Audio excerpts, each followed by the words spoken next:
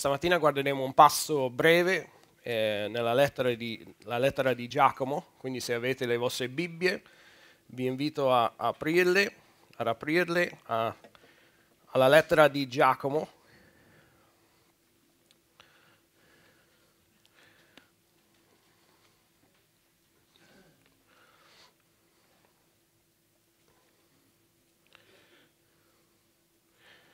Giacomo capitolo 1, vedremo alcuni versetti.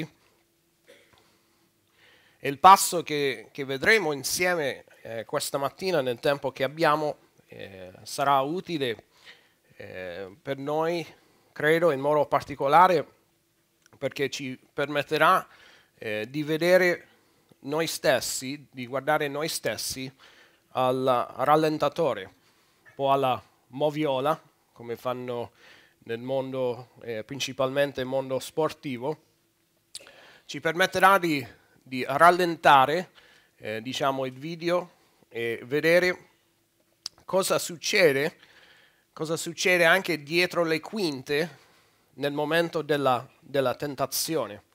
E questo passo eh, oggi, Dio volendo, sarà per noi come un, un allenatore che ci spiegherà eh, attraverso i versetti, ci spiegherà i, i momenti che noi facciamo quando, quando, noi siamo tentati e quando, quando pecchiamo, eh, cose che noi eh, non vediamo bene eh, da noi eh, senza questo aiuto esterno.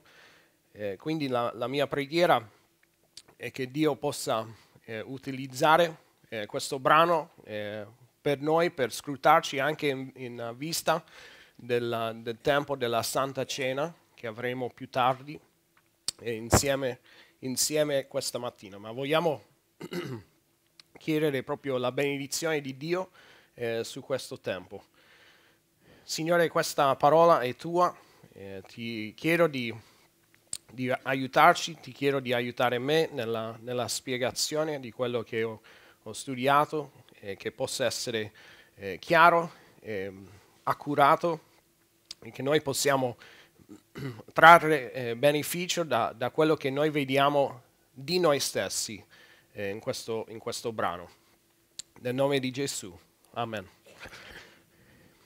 In questi eh, pochi versetti, alla fine sono pochi versetti, ma vedremo due concetti chiave e ve li, ve li, ve li dico adesso sperando che siano proprio chiari anche quando andiamo via eh, di qui.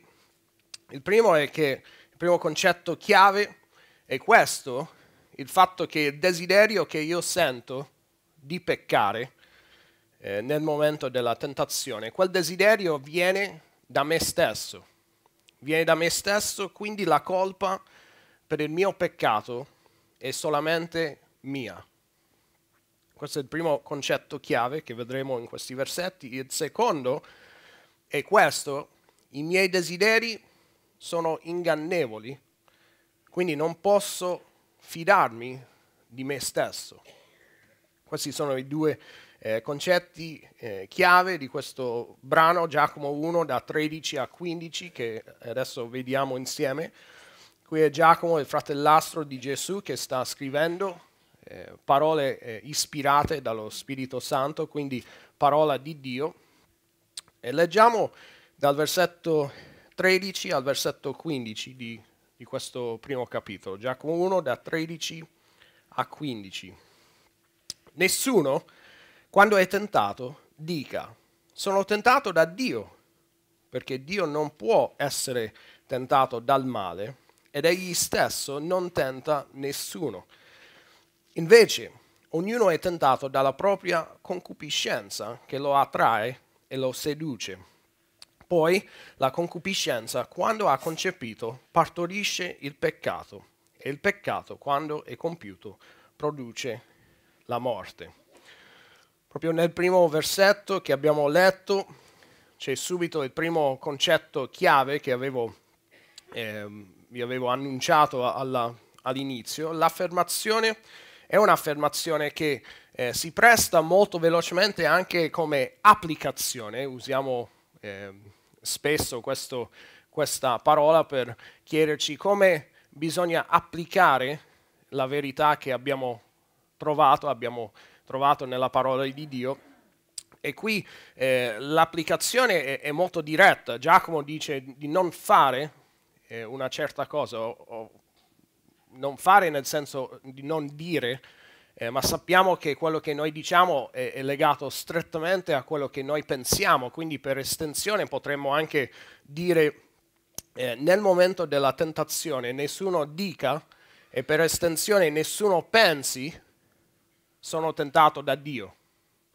Questo è un modo eh, sbagliato di, di, di, pensare, cioè dare eh, la colpa, pensare che la colpa sia di Dio, eh, la colpa eh, per quello che sento, quel desiderio forte che sento nella, nel momento della tentazione.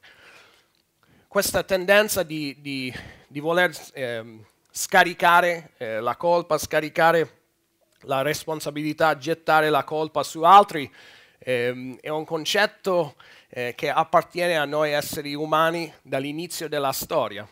Eh, se pensiamo a Genesi 3, eh, il, il, momento in cui eh, c'è, stata la caduta della razza umana, nel momento del peccato di Adamo ed Eva, Adamo dà questa risposta quando Dio eh, gli chiede chi ti ha mostrato che eri nudo? Vi ricordate che prima della caduta erano nudi e non c'era vergogna. In un mondo senza peccato questo era possibile. Ma Dio dopo che loro hanno eh, trasgredito, dopo che avevano peccato, Dio dice ad Adamo, chi ti, most- chi ti ha mostrato che eri nudo? Quando è diventato un problema questo? Perché è diventato un problema? Hai forse mangiato, questo è Genesi 3, eh, 11 se volete segnare riferimento, hai forse mangiato del frutto dell'albero che ti avevo comandato di non mangiare? Questo è la, quello che Dio chiede. La risposta di Adamo è, è, è, è un, un, classico, eh, diremmo. Eh, quando la sentiamo di nuovo stamattina, eh, forse sorriremo perché siamo consapevoli che noi lo facciamo probabilmente tutto il giorno, non ad alta voce necessariamente, ma tutto il giorno facciamo questo. L'uomo rispose, la donna che tu mi hai messo accanto.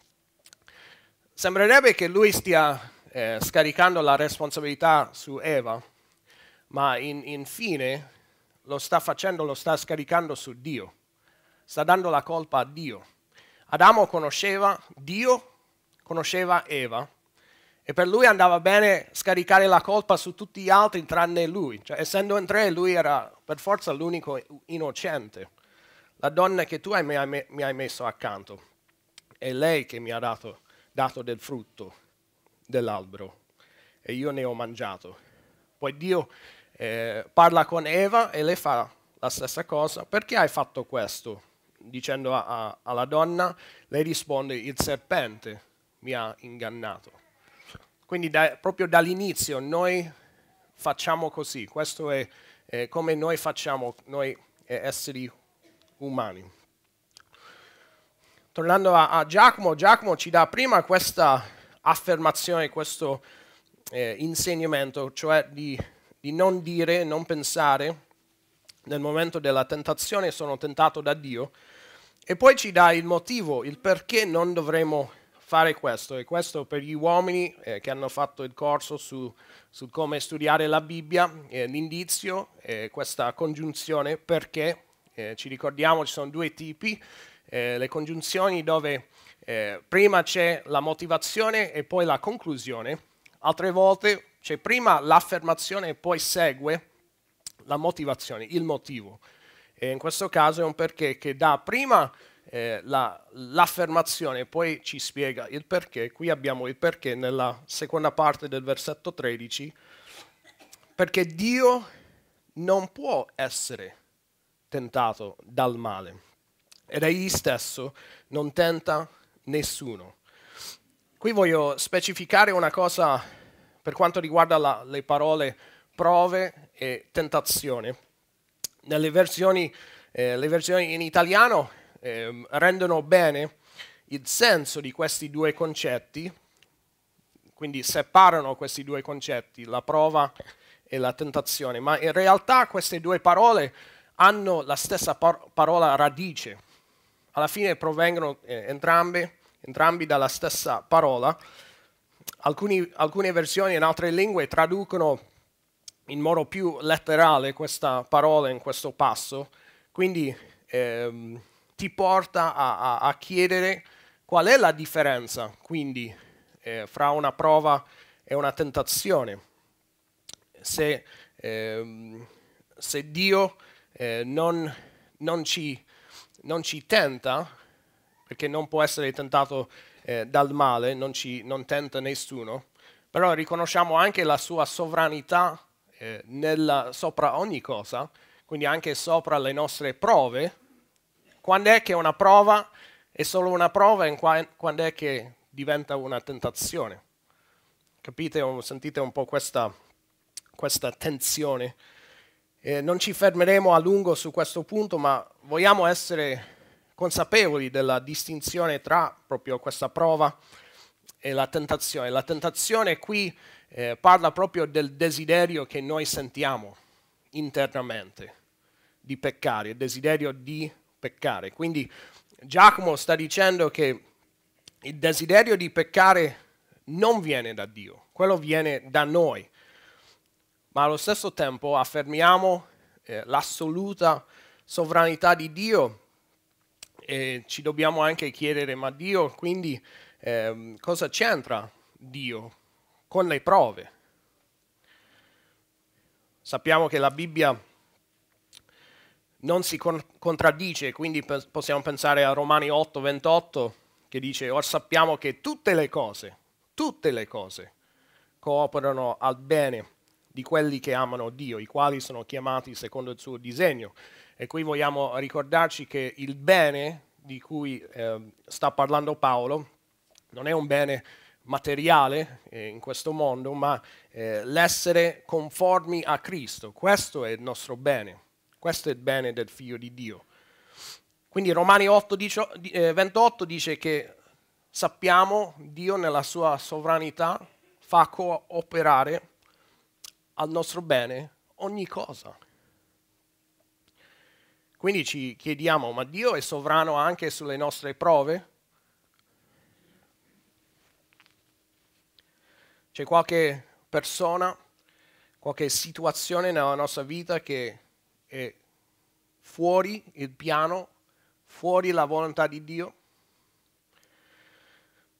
C'è qualche dettaglio della nostra vita che è sfuggito a Dio, alla, al suo occhio, alla sua mano? La risposta è no. Dio è sovrano sopra le, le prove, però non tenta, lui non ci, non ci tenta a peccare, quello viene da noi, quindi quel desiderio non viene da Dio, il desiderio di peccare che noi sentiamo viene da noi. Nessuno quando è tentato dica sono tentato da Dio, perché Dio non può essere tentato dal male ed egli stesso non tenta nessuno. C'è una seconda, una seconda parte della, del motivo per cui non dovremmo pensare che siamo tentati da Dio. La prima parte è perché Dio non, non tenta, non può essere tentato dal male e lui non, non tenta nessuno la seconda parte, se ci chiediamo allora se non è Dio, di chi è? Ah, sicuramente è mia moglie, forse è Satana, ah, sicuramente sono i fratelli in chiesa, dovresti conoscerli. No, il passo ci dice, versetto 14, invece ognuno è tentato dalla propria concupiscenza. Concupiscenza, immagino sia una parola che non usiamo tutti i giorni. Non dico a mia figlia Cristina, Cristina, ma questa tua concupiscenza non va bene. Sono l'unico che non utilizza questa parola? Voi lo, la utilizzate? Ok, grazie. Concupiscenza parla di desideri forti, desiderio forte. È usato diverse volte nella Bibbia e no, neanche tutte le volte parlano di desideri sbagliati. C'erano, se ho visto bene, tre volte eh, in cui parla di, di, Gesù che ha un desiderio forte ed è la stessa parola. Quindi eh, in se stessa non parla di, di, desideri sbagliati, ma parla più un, eh, proprio del fatto di, di un desiderio che, che è forte. E questa è la fonte della nostra tentazione. Siamo noi stessi, la nostra concupiscenza che eh, attrae e seduce. Tornando di nuovo al fatto che Dio è sovrano sopra le nostre prove, possiamo dirlo così. Le prove passano per la mano di Dio, ma la tentazione di peccare viene da noi, viene dai nostri desideri. E farei notare che anche lì sul linguaggio che usiamo, se le, le prove passano per la mano di Dio, c'è anche un, eh, un, un po' un dibattito sulla parola migliore per uh, parlare della, del rapporto eh, tra Dio eh, e il male, tra Dio e il peccato, se Lui permette solamente il peccato o se ehm, decreta, ordina, eh, c'è, c'è un, tutta una buona discussione eh, su, su quello, però possiamo dire che le prove passano per la mano di Dio, le prove vengono da Dio nella sua sovranità ma il desiderio di, di peccare, la tentazione di peccare, quello, quella, eh, quel desiderio viene da noi, viene dai nostri desideri. MacArthur, parafrasando lui, lui dice non solo non possiamo dare la colpa a Dio per il nostro desiderio di peccare, ma non dovremmo darla a nessuno, a nessun altro se non a noi stessi. Questa è la conclusione eh, la verità e l'affermazione che vogliamo fare eh, con l'aiuto di Dio, far entrare nel nostro cervello stamattina, nel nostro cuore. Il problema non è fuori di noi, il problema è dentro, è dentro di noi. Quindi Giacomo dice di non dare la colpa a Dio quando senti il desiderio di peccare. Il motivo Dio non può essere tentato eh, dal male. Non solo non viene da Dio questo desiderio di peccare, ma non viene da nessun altro, proprio, viene proprio da, da noi stessi. E quando parliamo di desideri è facile pensare ad alcuni esempi un po' classici, eh, pensiamo alla, all'esempio probabilmente usato troppo nella predicazione, due bambini che giocano insieme, uno vuole il giocattolo e lui ha quel desiderio o magari nel mondo adulto, eh, o il mondo degli adulti, eh, una persona vuole un dolce, può essere un biscotto, una ciambella, non so qual è la tua, eh, la tua medicina eh, o la tua preferenza, hai un desiderio per quell'oggetto, cominci a, a desiderarlo. E questi vanno bene come esempi, ma il, il peccato è molto insidioso e questo quello che noi stiamo, stiamo, leggendo in questo passo, il fatto che la nostra concupiscenza eh, attrae e seduce, questo sta succedendo dietro le quinte in modo continuo quando siamo tentati di peccare. Quindi vogliamo considerare alcuni esempi, riconoscendo che quando siamo tentati di peccare, c'è un desiderio dietro, questo è, ciò che il testo dice. Quando sento il desiderio di, di peccare, c'è un, tes- c'è un desiderio dietro. Per esempio, il desiderio per la tranquillità. Voglio stare tranquillo ca- in casa, non voglio essere disturbato dai figli. Quindi gestisco male le situazioni in casa. Ignoro i figli fino a un certo punto e poi mi arrabbio per farli smettere così torno ad avere un po' di tranquillità. Questo è un desiderio dietro a un peccato. Voglio essere visto bene dai, da altri, quindi eh, non voglio essere messo in imbarazzo dai miei figli in un luogo pubblico, quindi gli do tutto quello che mi chiedono. Voglio quello che voglio, non voglio essere contrastato da altri, neanche privato di qualcosa che desidero, quindi, quindi tratto in modo duro chi mi contrasta o chi potrebbe privarmi di, della cosa che voglio. E questo è anche un, modo di manipolare le persone nella, nella nostra eh, durezza, nella nostra rabbia anche. Voglio sentirmi bene. È sbagliato voler sentirsi bene? Abbiamo tutti paura di rispondere. Voglio sentirmi bene, voglio evitare il rischio di essere ferito. Quindi non mi apro il moro biblico a un fratello, non stabilisco un rapporto di trasparenza in cui possiamo parlare del nostro peccato, un rapporto dove possiamo essere onesti. Non voglio, voglio stare bene, non voglio dover abbandonare un comportamento peccaminoso, quindi dico le bugie.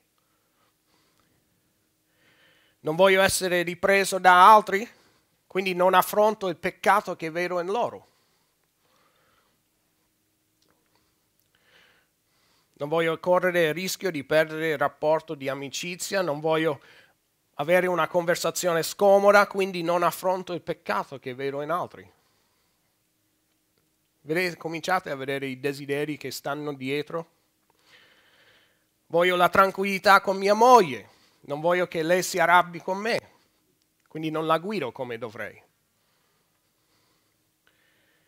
Ho la moglie, voglio che mio marito mi tratti in un certo modo, e quando non lo fa, gli rifiuto il, il, il rapporto intimo.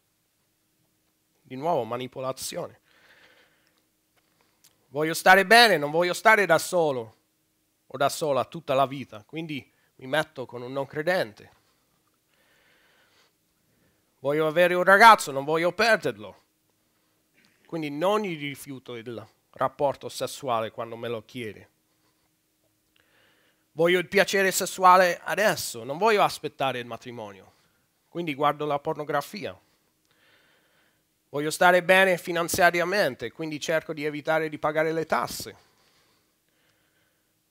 Voglio una vita facile, non voglio aff- affaticarmi per vivere in modo santo, quindi convivo con piccoli peccati. Questo un po' è, potremmo stare qui tutta la mattina a fare esempi, ma ho cercato di, di pensare a fare alcuni esempi che ci possono proprio aiutare nel, nel nostro vedere i desideri che, che si trovano dietro i nostri peccati. E Giacomo dice che questi nostri desideri, da questi nostri desideri siamo attirati e siamo sedotti, qui utilizza questa parola lo seduce, e vedremo eh, il significato di questa parola, ma queste due parole insieme, attirati eh, e serotti, attirati eh, parla del mondo della caccia, eh, il fatto di attirare la preda, e devo confessare questo per me è un mondo sconosciutissimo, so, conosco giusto qualcuno che, ehm, specialmente negli Stati Uniti, che proprio respira in modo lettera- letterale la caccia, eh, per darvi un esempio o un'idea, eh, la scuola eh, superiore che ho fatto io, il primo giorno di caccia ai cervi, ogni anno era un giorno festivo, non si andava a scuola. Eh, io ero contento così dormivo, eh, ma non sono mai andato a caccia giusto, giusto per i gusti. Ehm, quindi ho fatto qualche ricerca veloce, eh, anche per il beneficio mio. questo, questo primo lo sapevo, ma per i cervi Sapete cosa si utilizza per attirare i cervi? L'urina. I cervi hanno un senso, eh, il naso molto forte, sento, sentono eh, l'urina o l'urina di un, di un, altro maschio e vanno a indagare, o nel momento giusto dell'anno il profumo dell'urina eh, della femmina, ovviamente capite 2 più 2 fanno sempre 4, eh, vanno, vanno lì. Quindi per i cervi eh, l'urina, eh, esistono anche spray, eh, per, non l'ho mai fatto. Ehm, per i tacchini esiste una specie di chiamata, eh, esistono persone che siano in grado di, di farlo proprio con, so, con, le mani, con la bocca. Eh, se non sei in grado poi, eh, di farlo puoi comprare, questo è un aggeggio che tu come un fischio lo fischi e fa questa chiamata, eh, sembra che sia un, un, um, un, tacchino femmina, sarebbe una tacchina, non credo.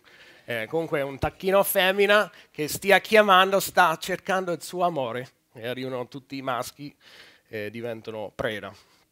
Cinghiali, eh, si può fare un foraggiamento, eh, di adescamento si chiama, un, una costante offerta di piccole quantità di cibo, ho letto questo eh, su un sito internet, messo a disposizione in un determinato luogo e loro cominciano a abituarsi al fatto, e questo anche con i cervi ho visto che, eh, che questo eh, funziona.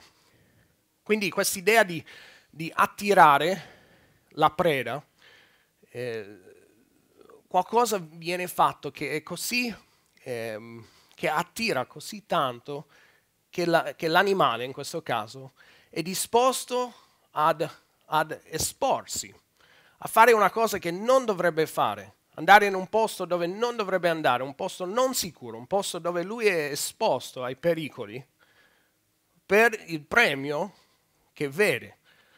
Stessa cosa con questa seconda parola che qui troviamo eh, tradotta seduce, nella nuova Diodati eh, viene eh, tradotto addescato, l'idea di, di un'esca. Eh, nel mondo della pesca o pesca? Pesca. Io credo fino alla mia morte pesca e pesca non, non dirò mai in modo giusto. Però il nostro amico, fratello Claudio, questo è anche un mondo sconosciuto. Sarò andato un paio di volte con mio padre da bambino, adesso cerco di non farmi del male. Però l'idea con un'esca, adesso non so, vabbè, questi sono legati.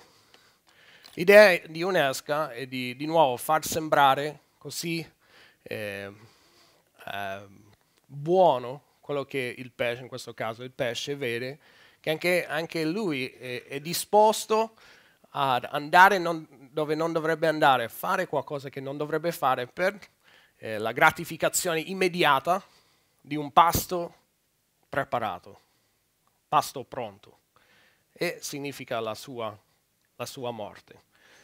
E immagino, eh, da quello che ho visto nel mondo delle esche, esistono tutti i tipi studiati, chi fa, chi fa i suoi, sono fatti in modo per nascondere la parte letale questi, questi aghi. Si chiamano aghi? Ami? Io amo. Tutto fatto per nascondere quest, questi ami e far arrivare il pesce lì, far arrivare il pesce a inghiottire questo, che è la sua morte, la sua fine. E queste funzionano quando c'è questo desiderio dentro l'animale, dentro eh, il pesce. Questi desideri, eh, tornando a Giacomo, sono cose piacevoli, ma proprio come è vero anche in questo caso, i nostri desideri promettono ciò che non possono dare.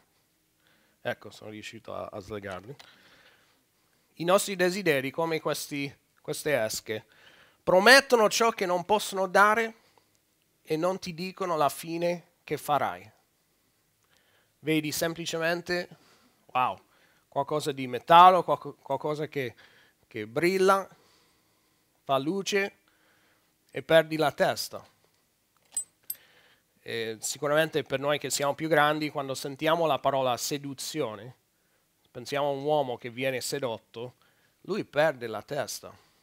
Lui non, non ragiona più, non vede più il futuro, vede solo i, pro, i prossimi 5, 10, 15 minuti con quella donna, non vede il danno sul suo matrimonio, ai suoi figli.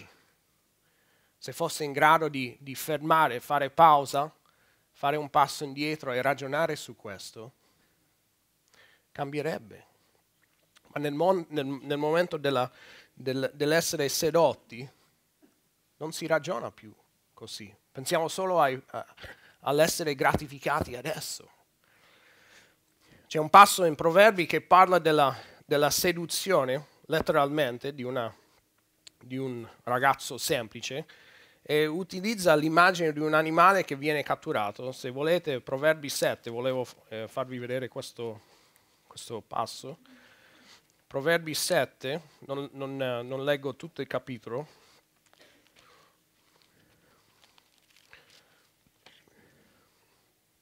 Proverbi 7,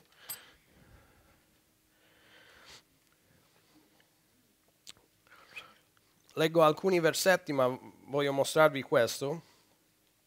Versetto 4, dia la sapienza, tu sei mia sorella, e chiama, e chiama l'intelligenza amica tua, affinché ti preservino dalla donna altrui, dall'estranea che usa parole seducenti. Ero alla finestra della mia casa, dietro la mia persiana, e stavo guardando, vidi tra i sciocchi, scorsi tra i giovani, un ragazzo privo di senno, che passava per, per la strada presso l'angolo dove essa abitava più avanti, versetto 10, ecco far, fargli si incontro una donna in abito da prostituta e astuta di cuore, turbolente e proterva che non teneva piede in casa. Versetto 13, essa lo prese, lo baciò e sfacciatamente gli disse, dovevo fare un sacrificio di riconoscenza, oggi ho sciolto i miei voti. Eh, se mi ricordo bene questo eh, significherebbe, parlerebbe della del sacrificio eh, alla fine del ciclo eh, della donna, quindi lei eh, poteva tornare ad avere eh, rapporti eh, sessuali, quindi credo sia questo il senso, magari sembra una frase un po' strana, fuori posto, ma questo credo sia eh, il senso di, questo, di, questo, di questa frase. Oggi ho sciolto i miei voti, perciò ti sono venuta incontro per cercarti e ti ho trovato. Questa è la bugia, specialmente nel, nel, mondo sessuale, nel mondo della tentazione sessuale, pornografia. Il maschio arriva, o, o chi, chi, è vittima, arriva a credere che quell'immagine, quella, quella persona in quelle immagini sono lì per te. E questo lo vediamo anche qui. Lei non è venuta a cercare lui, però lo dice. Versetto 21, eh, lei, per fare prima, versetto 21, lei lo sedusse con le sue molte lusinghe, lo trascinò con la dolcezza delle sue labbra, quindi di nuovo questa idea della seduzione, eh, credo sia lo stesso discorso della, del mondo della caccia e della pesca, sedusse con le sue molte lusinghe, quindi di nuovo quest'esca, lo trascinò con la dolcezza delle sue labbra. Egli le andò dietro subito, versetto 22, come un bue va al macello, come uno stoto è condotto ai cepi che lo castigheranno, come un uccello si affretta al laccio senza sapere che è teso contro la sua vita finché una freccia gli trapassi il fegato.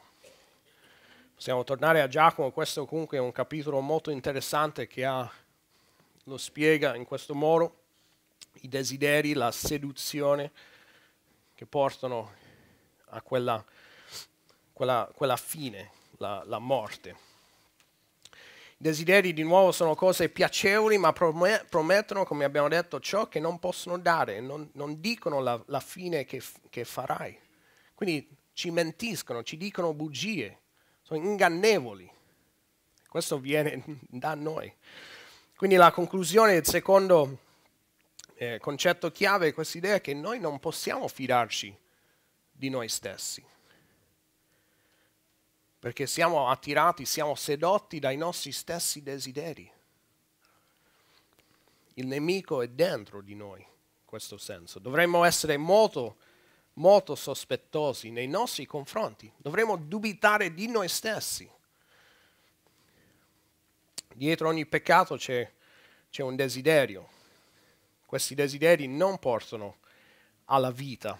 MacArthur dice eh, in questo capitolo di, di, Giacomo, Giacomo fa la distinzione nella, nel versetto precedente, eh, versetto 12, beato l'uomo che sopporta la prova perché dopo averla superata riceverà la corona della vita.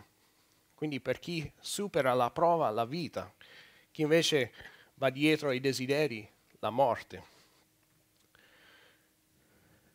Poi pa- si passa dall'immagine della caccia della, eh, delle esche per fare un'altra immagine, eh, una un po' più universale, magari noi non tutti andiamo a, a caccia o andiamo a pescare, però li, l'idea di una gravidanza.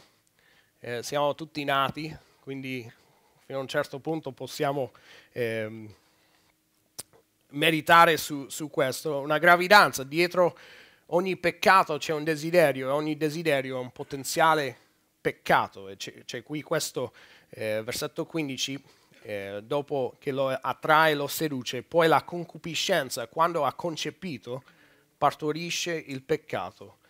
E il peccato, quando è compiuto, produce la morte. Sappiamo da altri brani nella scrittura eh, che siamo chiamati a mettere a morte le opere della carne. Eh, Colossesi 3, per esempio, è un, è un, passo molto utile su questo. Però l'idea di, di concepire, quando la concupiscenza concepisce, succede perché noi non mettiamo a morte quel desiderio, non lo sottomettiamo a Dio, lo lasciamo vivere e si arriva al concepimento. Quindi in, quel, in questo modo noi siamo noi stessi a contribuire al, conce- al concepimento. Potremmo dire ogni volta che pecchiamo, congratulazioni, sei papà di nuovo. Hai partorito o hai contribuito al, al parto di un altro peccato. Noi contribuiamo al, al concepimento. Sentiamo un desiderio, non lo mettiamo a morte, non lo so- sottomettiamo a Dio, ma decidiamo di, di, cercare la nostra gloria, decidiamo di cercare la soddisfazione in qualcosa che è fuori di Dio, fuori del suo piano, e viene concepito e poi viene partorito un peccato. E a volte questo è molto lento, come potrebbe essere, eh, magari pensiamo a una situazione dove conosci una persona, sei sposato, conosci una persona, cominci a a provare un desiderio per quella persona, e sta lì, sta lì, in, potremmo dire in pentola e sta eh, eh, bollendo per diverso tempo e dopo un po' ehm, è solo una questione del quando, ma c'è del tempo. Possiamo pensare a altre eh, situazioni, altre situazioni dove, eh, magari l'esempio che ho fatto prima, quando io reagisco male verso i miei figli, sto sempre eh, rispondendo a un desiderio, però succede molto velocemente, molto velocemente. Ed è per questo che ci è utile vederlo al rallentatore. Il peccato compiuto ha come risultato la morte. E di quale morte sta parlando? Beh, possiamo affermare che ogni peccato porta la morte, la separazione di Dio, ma è anche vero che un figlio di Dio è stato perdonato, MacArthur nel suo commentario fa notare i casi menzionati in 1 Corinzi 11, il passo che leggiamo prima della Santa Cena, ehm, persone che erano morte della morte fisica, credenti morti perché partecipavano in modo indegno alla Santa Cena.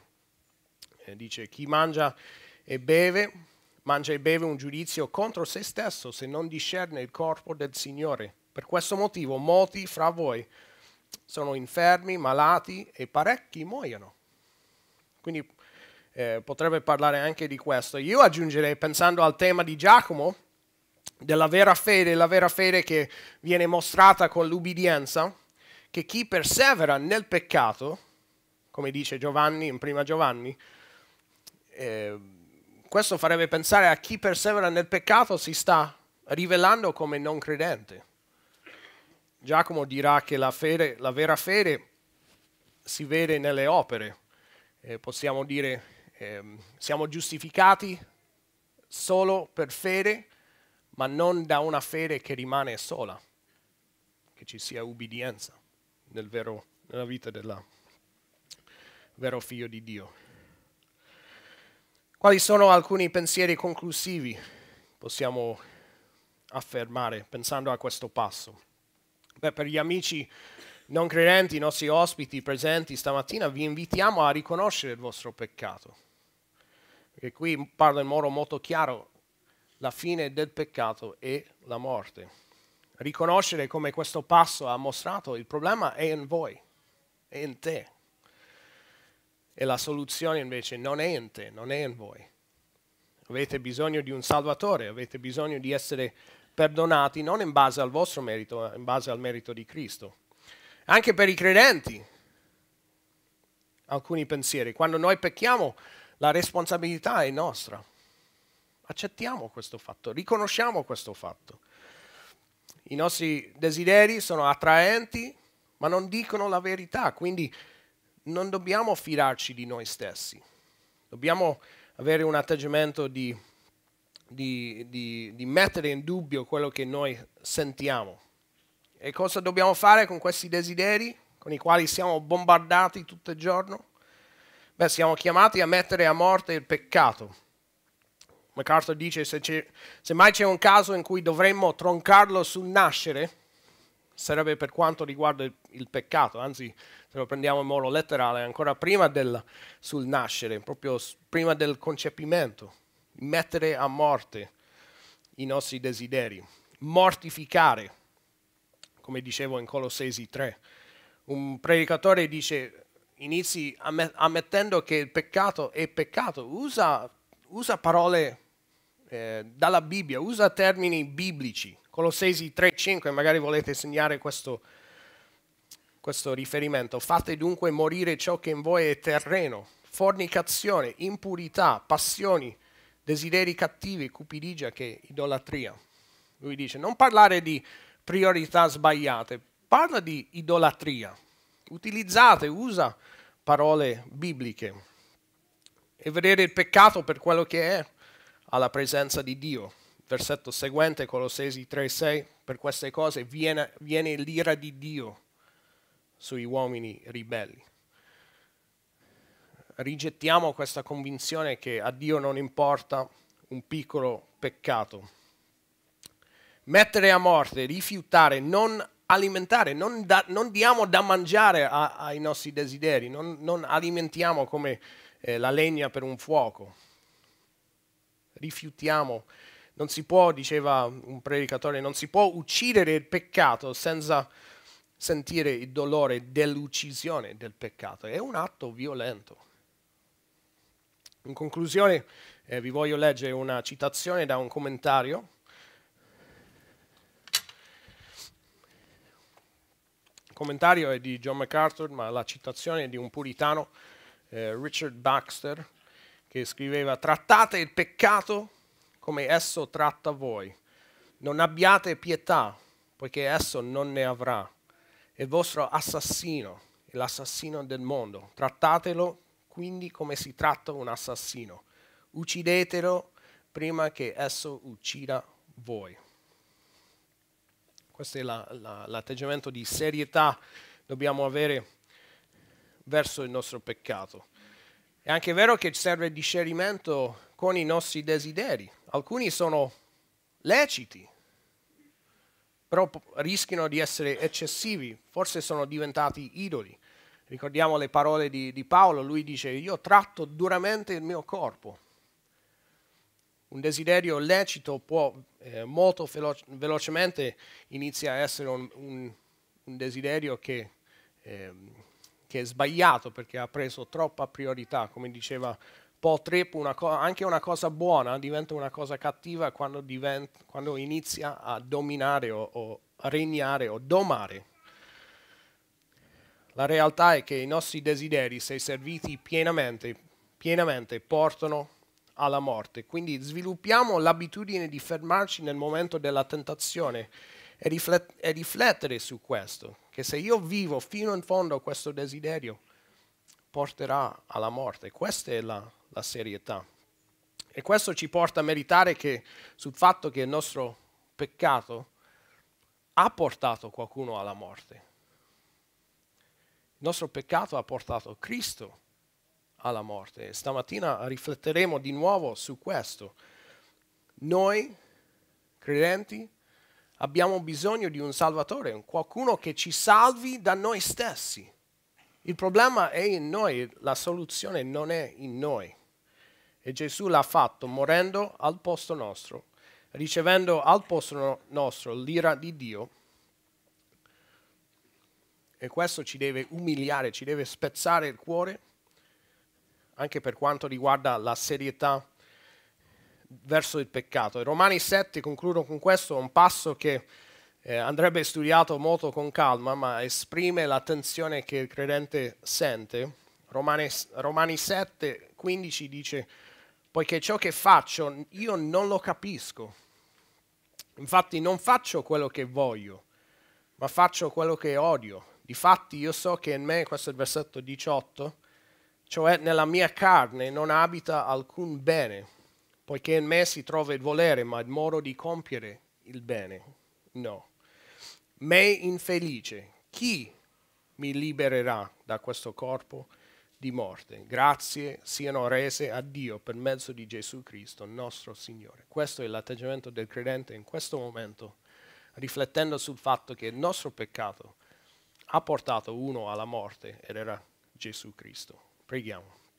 Signore, grazie per questi pochi versetti. Ti prego che ci possano essere di aiuto nel momento della, della tentazione.